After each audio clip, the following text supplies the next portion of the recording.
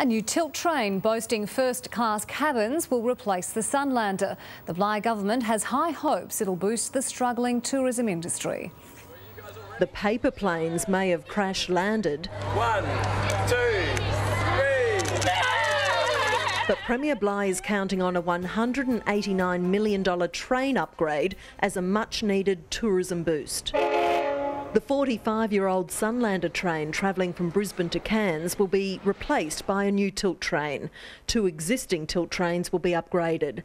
They'll have first class cars, flat screen TVs, and a cafe style lounge. But it will be bigger, better, smoother, and faster. That takes five hours off the time of the trip. Some of our other train services suffer from being too popular, but the Transport Minister is confident first class train cabins are a winner. Train travel is much more luxurious than is air travel. Currently, it costs $218 for an economy Sunlander ticket. It should not lead to a significant increase in fares. The Premier has seized the opportunity to link the rail upgrade to the controversial privatisation plan. This is a great example of how Queenslanders will benefit from our decision on asset sales.